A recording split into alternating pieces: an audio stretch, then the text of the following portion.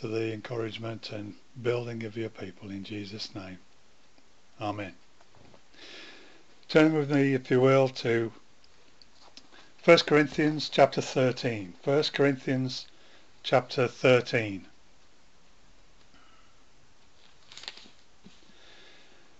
Starting at verse 1. Though I speak with the tongues of men and of angels and have not charity, I am become as a sounding brass or a tinkling cymbal. And though I have the gift of prophecy and understanding all mysteries and all knowledge, and though I have all faith, so that I could remove all mountains, and have not charity, I am nothing. And though I bestow all my goods to feed the poor, and though I give my body to be burned, and have not charity, it profits me nothing. Charity suffereth long, and is kind. Charity envieth not.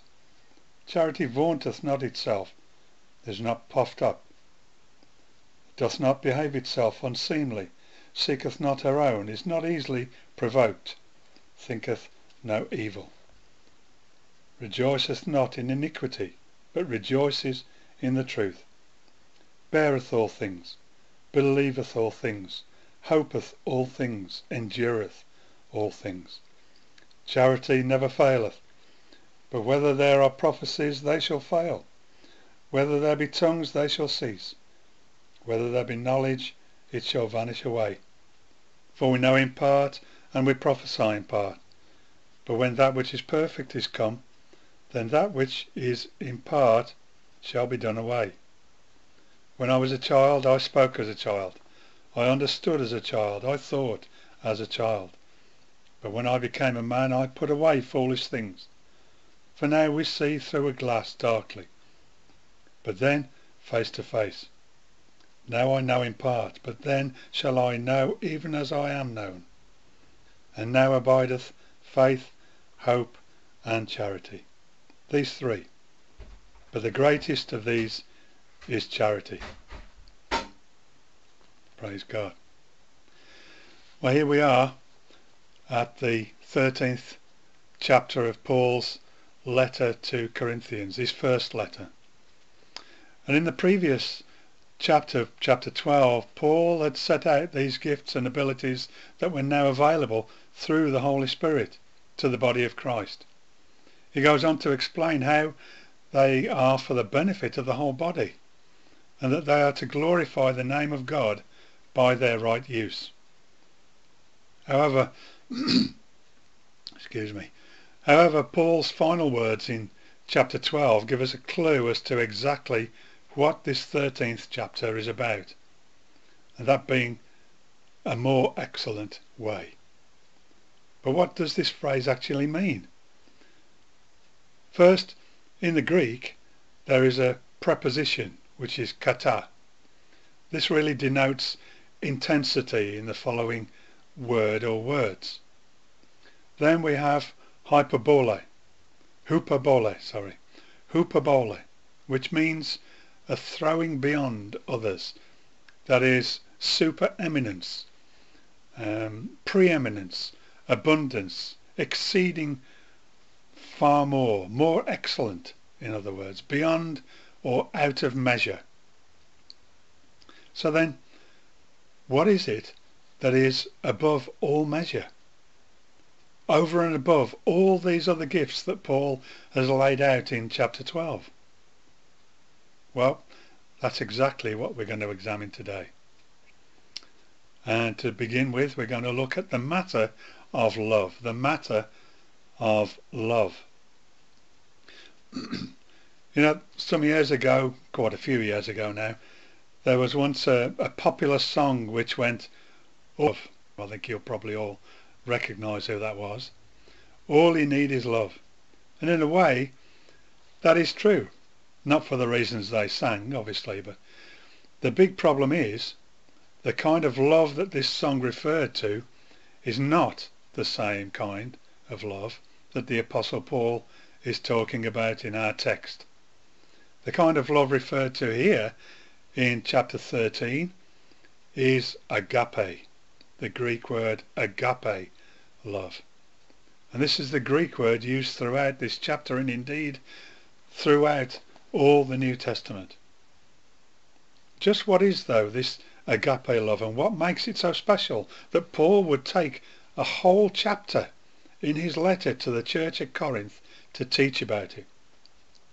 Well, agape itself, the Greek word agape, here in the King James translated as charity, means the following. It means love, that is, affection or benevolent love. Uh, it's used for love feasts or feasts of charity. Dear love. The equivalent Hebrew word is ahav, ahav, which means to have affection for, sexually or otherwise. To be loved, loved dearly, like a, a dear friend.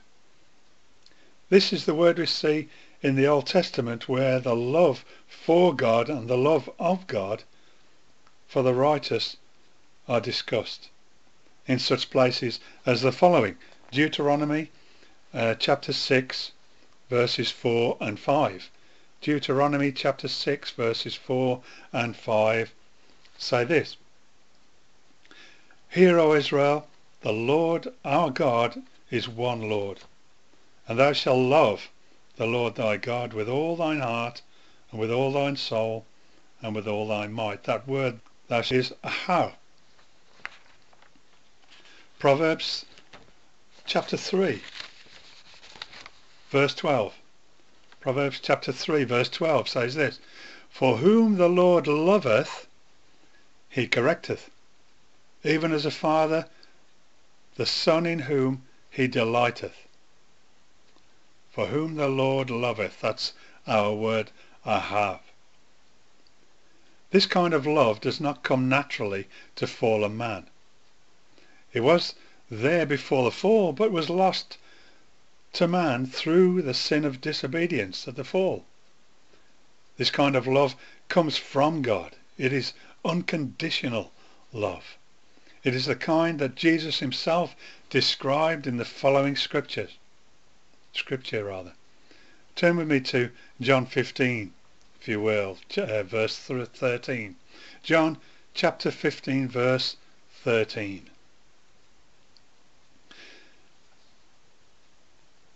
And verse 13 says this, Greater love hath no man than this, that a man lay down his life for his friends. Greater love hath no man than this, that a man lay down his life for his friends. That word love is agape.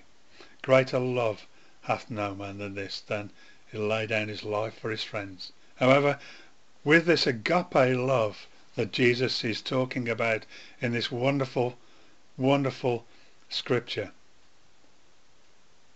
he laid down his life not only for his friends but for all mankind. He laid down his life for his enemies as well as his friends. That is this agape love. It's unconditional love.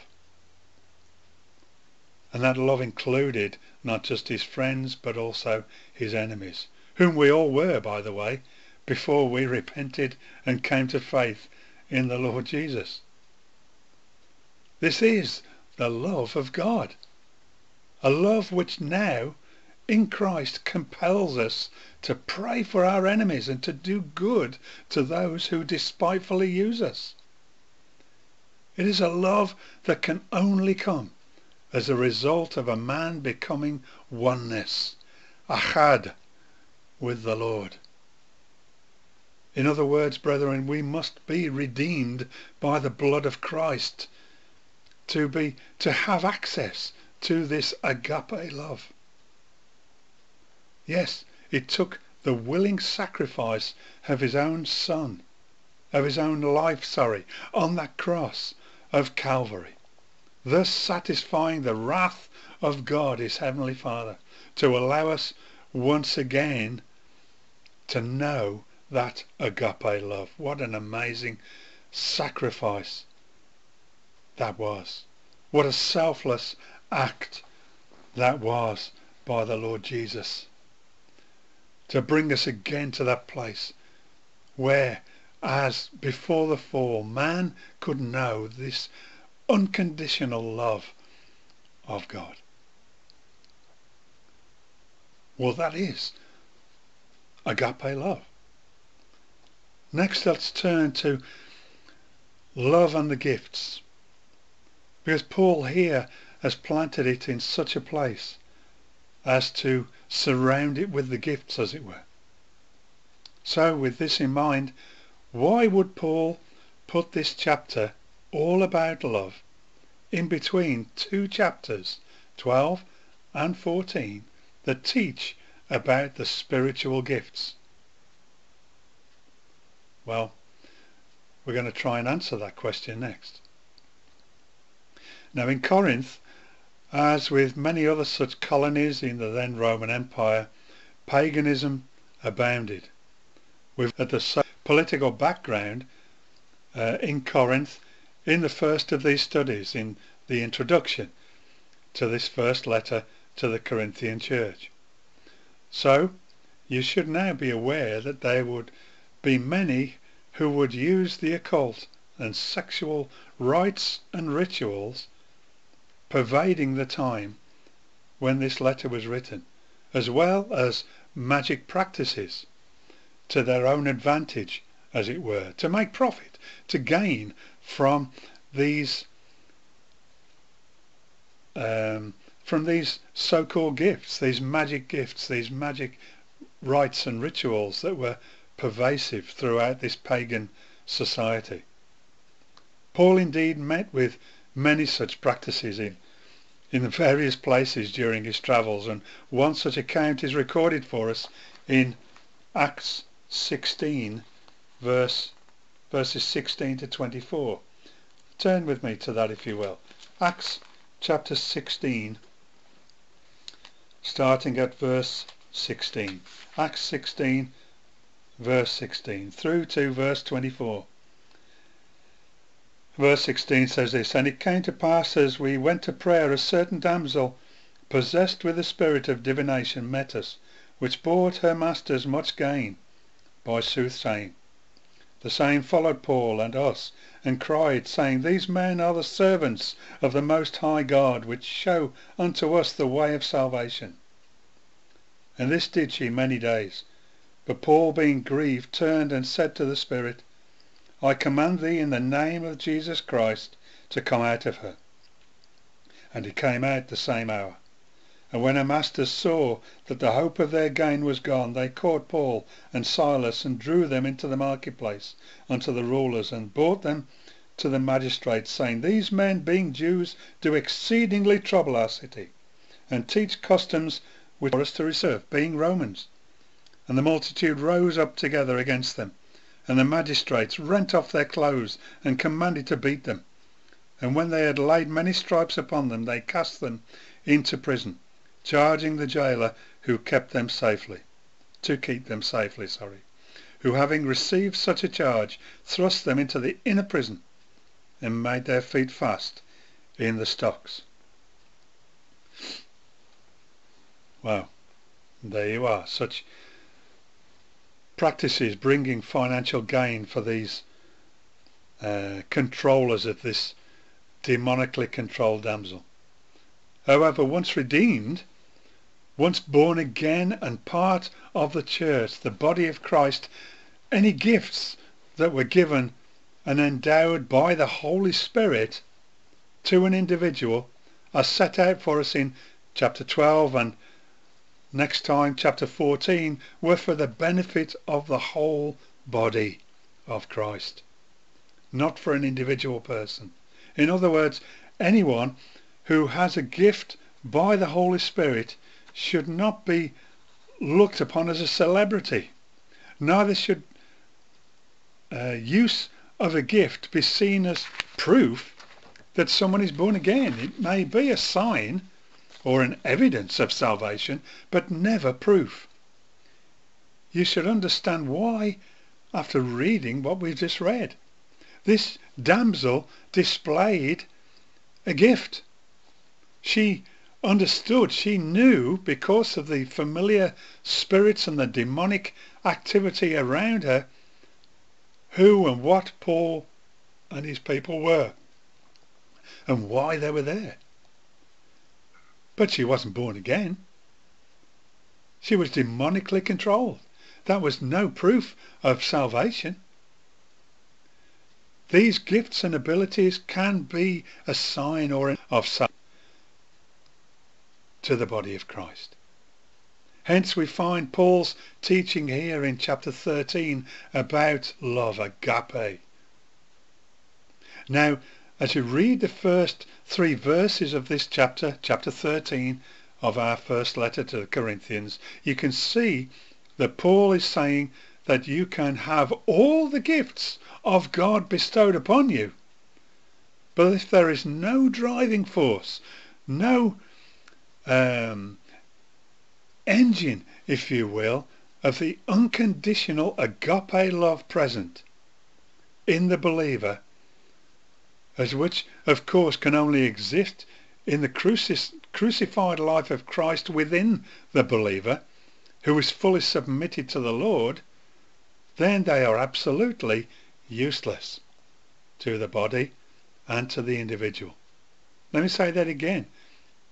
You can have all the gifts of the Holy Spirit bestowed upon you, but if there is not within you this unconditional agape love of God, driving these gifts, being the driving force behind these gifts, then they're useless. In effect, this love is the very soul of the character described by Jesus himself in the Beatitudes. And you can find those, as we've talked about many times, in Matthew 5, verses 1 to 16. Let's just look at one or two of them, shall we? Turn with me to Matthew 5, if you will, just for a moment. We'll just read a few of these. Bearing in mind our 13th chapter, talking about the core behind these gifts. The core behind these gifts of the Spirit. Blessed, this is uh, Matthew chapter 5, verse 3. Blessed are the poor in spirit, for theirs is the kingdom of heaven. Blessed are they that mourn, for they shall be comforted. Blessed are the meek, for they shall inherit the earth. Blessed are they which do hunger and thirst after righteousness, for they shall be filled. Blessed are the merciful, for they shall obtain mercy. Blessed are the pure in heart, for they shall see God. Blessed are the peacemakers, for they shall be called the children of God. Blessed are they which are persecuted for righteousness' sake, for theirs is the kingdom of heaven. And blessed are you when men shall revile you and persecute you and shall say all manner of evil against you falsely for my sake. And it goes on. This, as we've looked at previously in other messages, describe the character of the disposition of Jesus himself. And behind that disposition, the driving force behind all that Jesus did and said was this central fact of agape love, the love of God behind everything that Jesus did and said. And without this agape love, this all these other gifts and abilities are hollow and empty. In fact, Paul says himself that if we don't have this, this love, then we are but clanging cymbals, a noisy gong to all around us.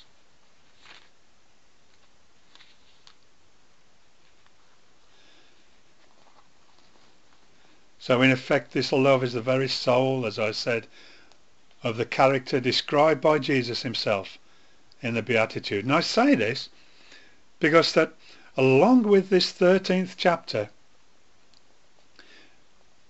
it really completes the description position.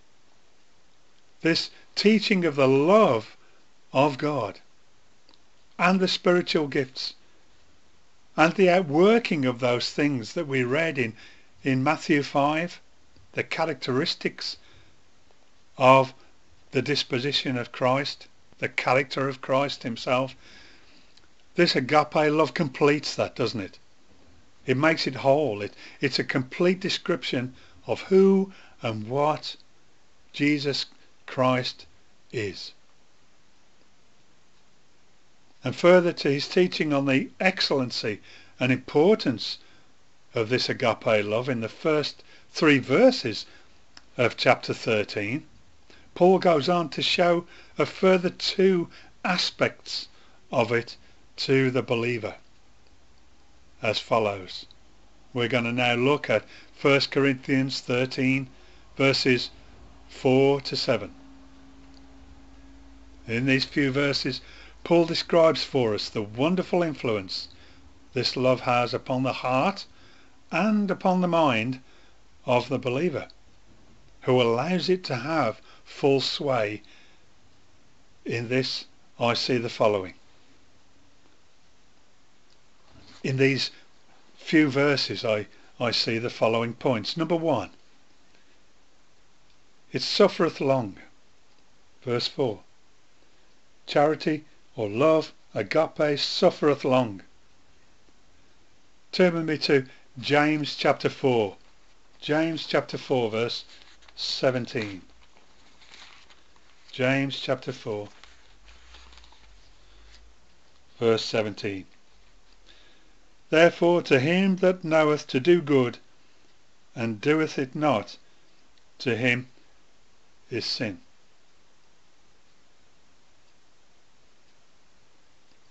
it suffereth long. It also vaunts, it is not puffed up. 1 Corinthians chapter 4 verse 6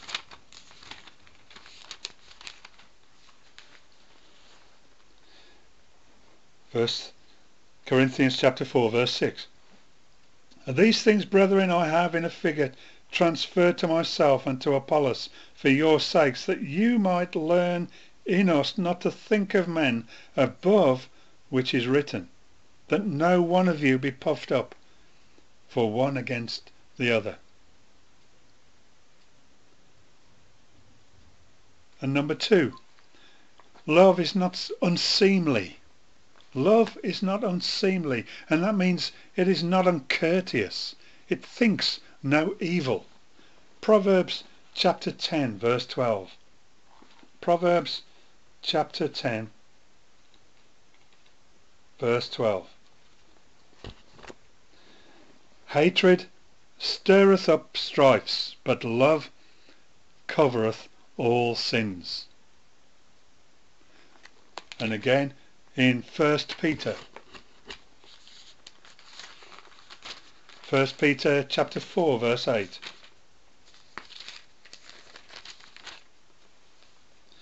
First Peter chapter 4 verse 8 and above all things have fervent charity among yourselves for charity shall cover a multitude of sins that word charity is our word agape and above all things have fervent love among yourselves for love shall cover a multitude of sins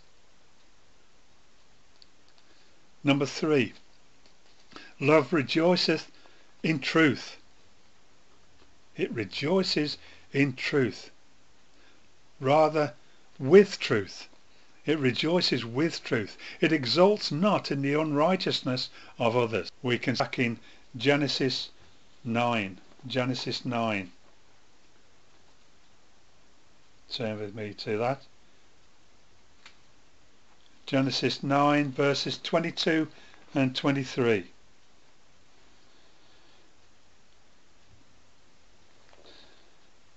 And Ham, verse 22, and Ham, the father of Canaan, saw the nakedness of his father and told his two brethren without. And Shem and Japheth took a garment and laid it upon their shoulders and went backward and covered the nakedness of their father. And their faces were backward and they saw not their father's nakedness. They did not rejoice in unrighteousness. They didn't want to see the unclean thing. They didn't want to see the nakedness of their father exposed. Turn with me now to Proverbs chapter 17. Proverbs chapter 17 and verse 15. Proverbs 17 verse 15. He that justifieth the wicked and he that condemneth the just, even they both are an abomination to the Lord. And finally on this point, 2 John chapter 1 verse 4. 2 John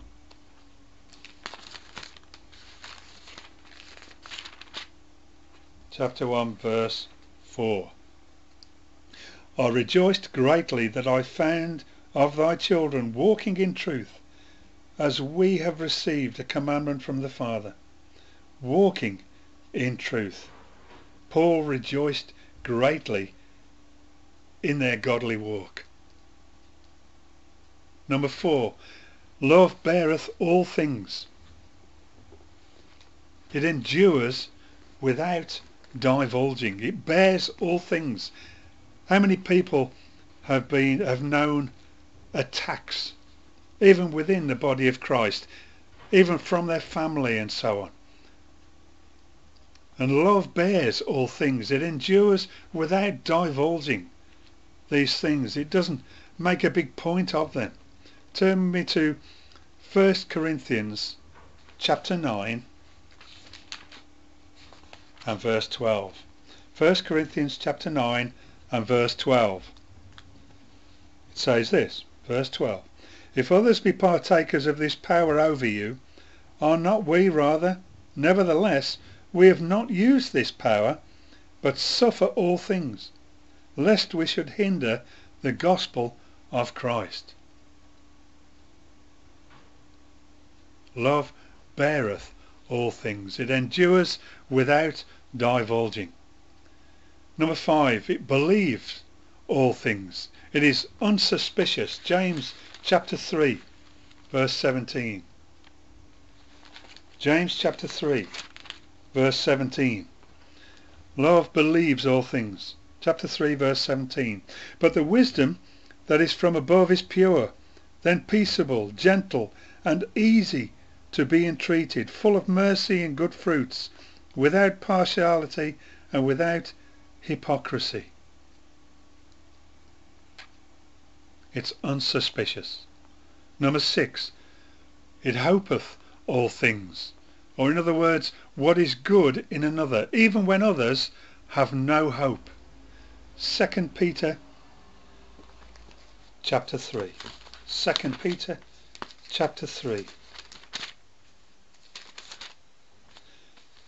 and verse 17. You therefore, beloved, seeing you know these things, beware. Beware lest you also, being led away with the error of the wicked, fall from your own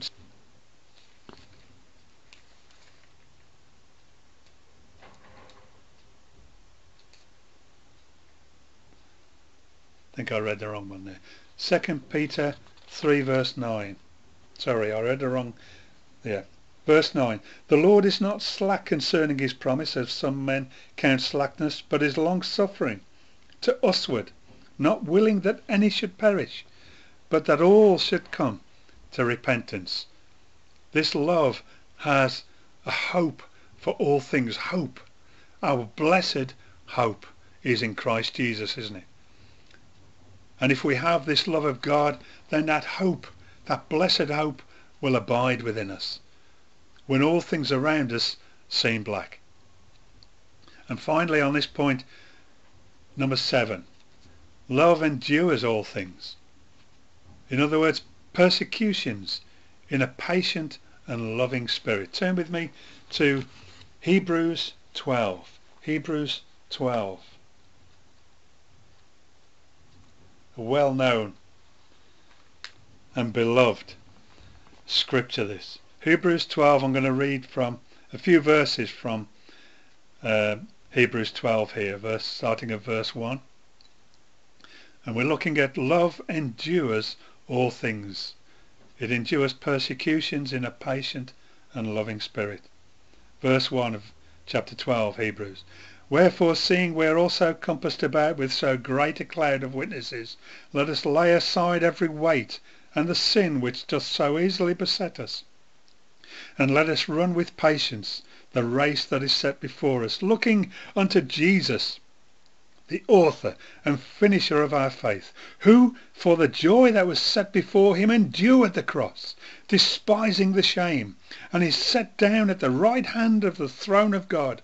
For consider him that endured such a contradiction of sin against spirit and faint in your minds. You have not yet resisted unto blood, striving against sin, and you have forgotten the exhortation which speaketh unto you as unto children. My son, despise not thou the chastening of the Lord, nor faint when thou art rebuked of him. For the Lord loveth, he chasteneth, and he scourgeth every son whom he receive, receiveth. If you endure chastening, God dealeth with you as sons. For what son is he whom the Father chasteneth not? Wow. Love endures all things, and our example, our great example, is Christ himself. And now, the final few verses of our chapter. 1 Corinthians 13 verses 8 to 13. In these final few verses, Paul really teaches us that unlike all of the previous gifts of God that he is described in chapter 12, this agape love, once received, will continue or endure throughout all eternity. Not only this wonderful thought, but but that it will also be the chief and most glorious element of our eternal existence with him. What Paul is telling us, brothers and sisters, in the church is the same as he was teaching at Corinth. It's the exact same as he would tell us if he were here today. In this present life we need faith, hope and love. We need faith, hope and love. Hebrews 11 as proof texts of this. Hebrews 11 verse 6 says this, But without faith it is impossible to please him. For he that cometh to God must believe that he is, and that he is a rewarder of them that diligently seek him. 1 Peter 1 verse 3 says this, Blessed be the God and Father of our Lord Jesus Christ, which according to his abundant mercy hath begotten us again unto a lively hope by the resurrection of Jesus Christ from the dead a lively hope. 1 Peter chapter 1 verse 4 says this, To an inheritance incorruptible and undefiled and that fadeth not away, reserved in heaven for you, who are kept by the power of God through faith unto salvation, ready to be revealed in the last time. 1 John 4 verse 7, Beloved, let us love one another for love is of God, and every one that loveth is born of God, and knoweth God. This love described here is agape. Verse 8, 1 John 4 verse 8, He that loveth and knoweth not God, sorry, he that loveth not knoweth not God, for God is love. And further down in verse 15 of 1 John 4 says this, Whomsoever shall confess that Jesus is the Son of God, God dwelleth in him, and he in God. 1 John 4, 15, 16, sorry. And we have known and believed the love that God hath to us. God is love. And he that dwelleth in love dwelleth in God, and God in him. There is now brothers and sisters, really little else to say. This is but a short chapter, but it contains such powerful, powerful instruction to us. To say about it, except that without agape love, none of the gifts, indeed our very walk with Christ, will not work. And it will certainly never bring glory and honour to our Heavenly Father and to the name of Christ Jesus. This is why Paul so wisely placed this little chapter, this chapter of 13 verses, between chapters 12 and 14 that teach about the gifts of God. Simply put, brothers and sisters, if we do not have and display agape love in our lives and in our walk, we do not know God. Do you know him today? Seek him. Seek the gifts, yes. But the greatest of these is love. Christ's instruction to us, some of his last words to us who believe in him were to love one another. If we love one another, then the world would know and see that God sent him. And he is of God. He is God. Do you know him today? Seek the gifts, yes, but seek this agape love of God over and above all things. God bless you, brothers and sisters.